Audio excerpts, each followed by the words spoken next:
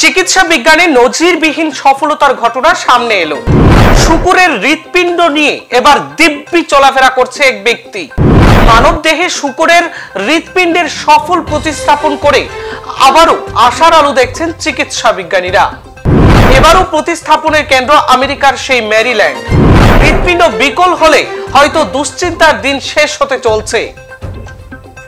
হৃৎপিণ্ড বিকল হলে এবার দুশ্চিন্তার দিন হয়তোবা শেষ হয়ে যাচ্ছে।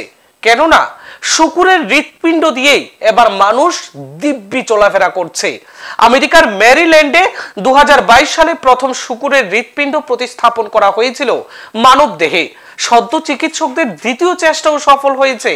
আঠান্ন বছরের লরেন্স ফসেটের দেহে জিন পরিবর্তিত শুকরের হৃৎপিণ্ড প্রতিস্থাপন করা হয়েছে। তার রক্তনালীতে সমস্যা ছিল। অভ্যন্তরীণ রক্তপাতও হতো।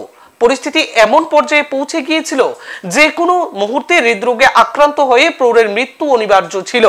হৃৎপিণ্ড প্রতিস্থাপন তাই জরুরি হয়ে দাঁড়িয়েছিল। অস্ত্রোপচারের পর বর্তমানে তিনি সুস্থ আছেন। নতুন হৃৎপিণ্ডের মাধ্যমেই দিব্যি শ্বাস নিতে পারছেন।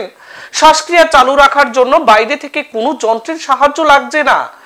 মানুষের দেহে শুকুরের হৃৎপিণ্ড বসানোর অস্ত্রোপচার সম্পূর্ণ হয়েছে মেরিল্যান্ড বিশ্ববিদ্যালয়ের মেডিকেল সেন্টারে। প্রথমবারের প্রতিস্থাপনও সেখানেই হয়েছিল। সাতান্ন বছরের ডেভিড ভেনেট নতুন হৃৎপিণ্ড পেয়েছিলেন। মাস দুয়েক আগে তার মৃত্যু হয়েছে।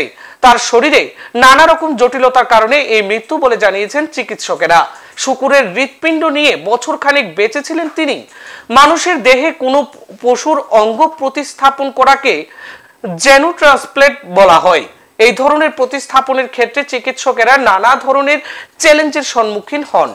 কারণ, রোগীর দেহের রোগ প্রতিরোধ ব্যবস্থা নতুন এই অঙ্গটির সঙ্গে সহজেই মানিয়ে নিতে পারে না। এর আগে শুকুরের দেহে থেকে মানুষের দেহে কিডনি সফলভাবে প্রতিস্থাপন করা হয়েছে। এবার শুকুরের কিডনির পর এই শুকুরের হৃৎপিণ্ড, দ্বিতীয়বারের এই হৃৎপিণ্ড প্রতিস্থাপন চিকিৎসা বিজ্ঞানে অগ্রগতিতেই স্বীকৃতি দিল। আপডেট এই পর্যন্ত, পরবর্তী নিউজ পেতে চোখ রাখুন, পূর্বাঞ্চল প্রতিদিনের পর্দায়। ধন্যবাদ।